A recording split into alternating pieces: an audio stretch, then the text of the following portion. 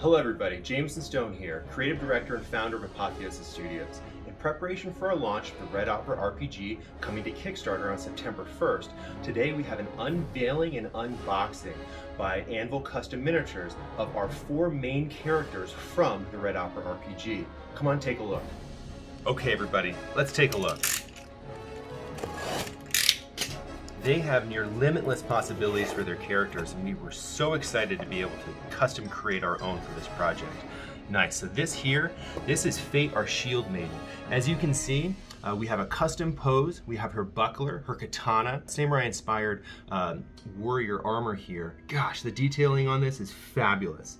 Uh, for those who are so inclined, I myself am a Warhammer 40k aficionado. Um, I'm very excited to paint mine. Um, the material on this is awesome. Anvl did such a great job. Let's take a look at the next one.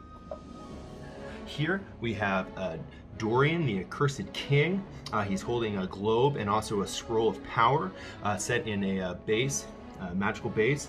It's absolutely fabulous how these came about. Really, really, really love the detail work. Next, we have Magin the Betrayer, uh, holding uh, two books uh, set in a kind of a airy setting here. Very, very cool. Gosh, I am so happy with how these came out. I wish you guys could see the full detailing on these.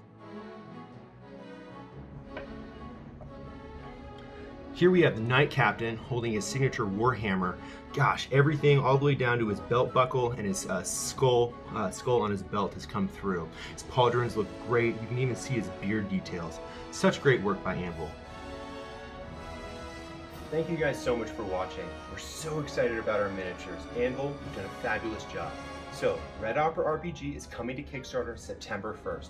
We have these miniatures, we have custom dice, custom dice tower that's hand painted, uh, we have a special edition, standard edition, prints and posters, and so many more add-ons. So, Red Opera RPG coming to Kickstarter September 1st. We're so excited to see you there. Everyone at Apotheosis Studios says thank you.